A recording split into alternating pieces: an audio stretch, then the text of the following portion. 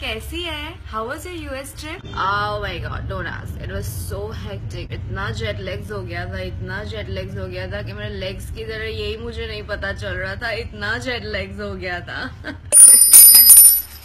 ये तेरी एक्सेंट को क्या हो गया? Baby I am America return hello मगर तू तो दो ही हफ़्ते के लिए गई थी ना? Yeah, but rich peoples, you know how it is. We catch accent faster more than Zukham.